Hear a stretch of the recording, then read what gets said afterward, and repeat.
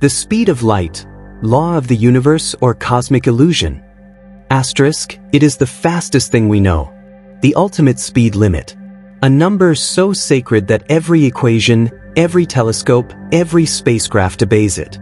299,792,458 meters per second. The speed of light. But is it truly an unbreakable law of the universe, or just a rule we haven't yet learned how to bend? Long before telescopes, before satellites, before physics even had a name, light was already shaping our world. It warmed the earth, marked the seasons, and told ancient civilizations when to plant, when to harvest, when to pray. But for thousands of years, one question lingered, unanswered, unmeasured. Does light travel instantly, or does it take time to reach us? The Greeks debated. Empedocles believed light had a finite speed. Aristotle argued it was instantaneous. Without instruments to measure such incredible speed, the debate remained philosophical for centuries.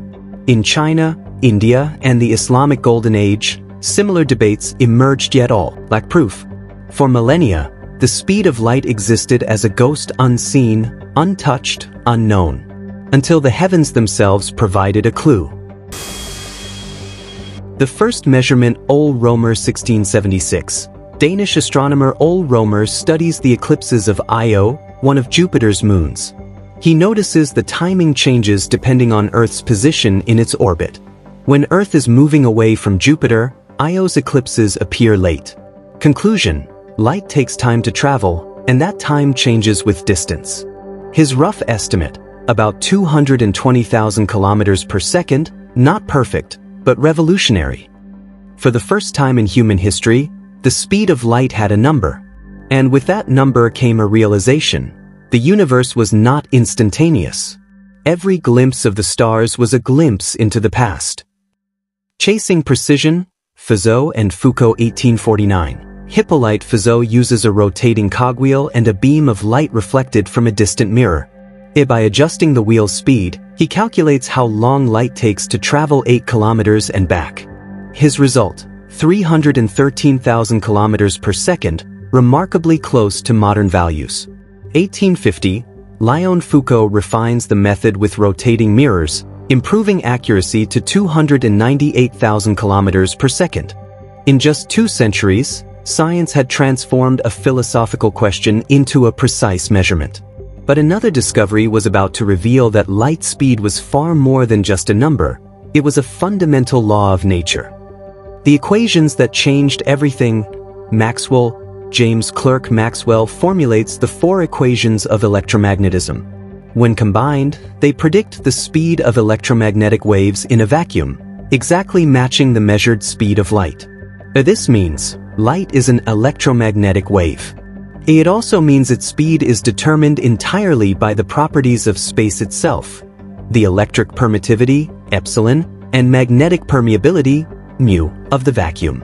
The speed of light was no longer just something to measure, it was something the universe itself demanded.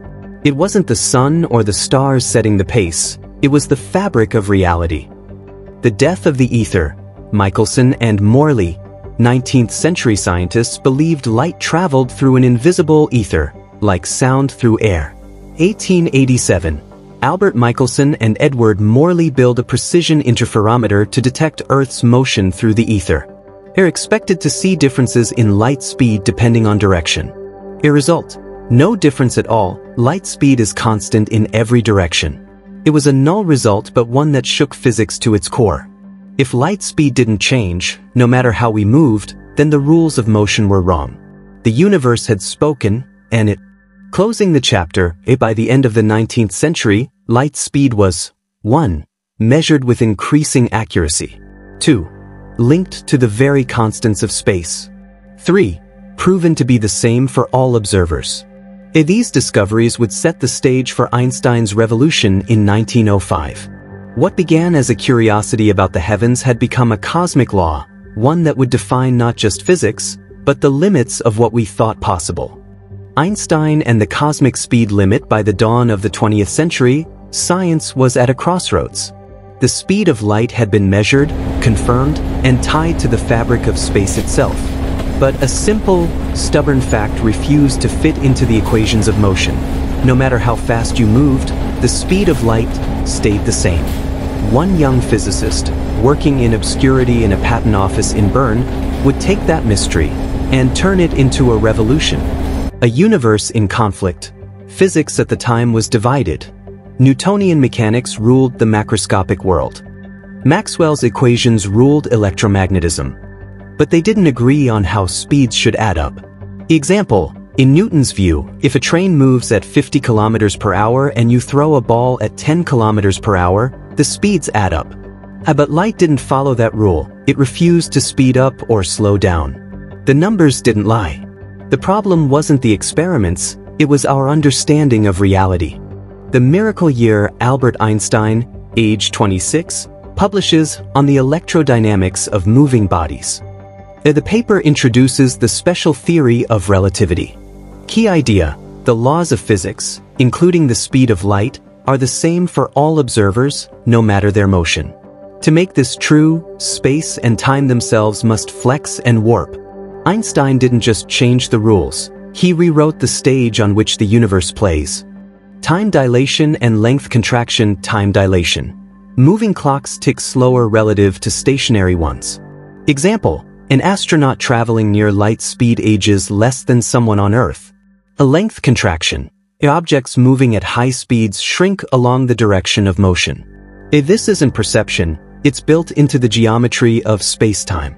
The faster you move, the more the universe bends to preserve the speed of light. Time slows, distances shrink, reality reshapes itself to keep the cosmic limit intact.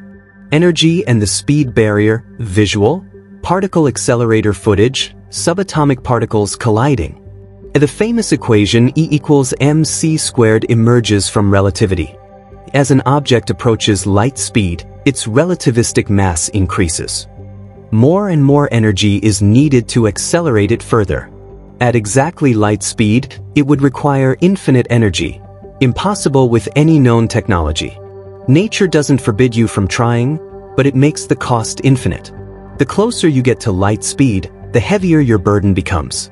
Light as the cosmic speed limit, it's not just light. c is the maximum speed for any causal influence. Even gravity's changes propagate at c.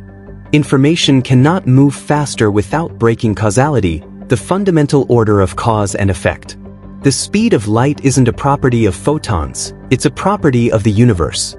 A built-in safeguard that keeps time flowing forward and events in order. Closing the chapter A by redefining space and time, Einstein didn't just explain light's constancy, he revealed a deeper truth. The universe has a maximum speed woven into space-time structure. And this insight would open the door to the space-time continuum and, later, to the theory of general relativity. The speed of light was no longer a mystery to be solved, it was a law to be honored. And in honoring it, we began to glimpse the true shape of reality. The light cone, defining possibility, every event in the universe has a light cone, separating future possibilities, events that can be influenced. Past events, what could have influenced this point? Elsewhere, regions outside the light cone that cannot interact without breaking causality. At the speed of light sets the boundaries of cause and effect. No particle, no message, no force can travel outside this cone. The universe has a built-in speed limit that protects the order of events, ensuring that cause always precedes effect.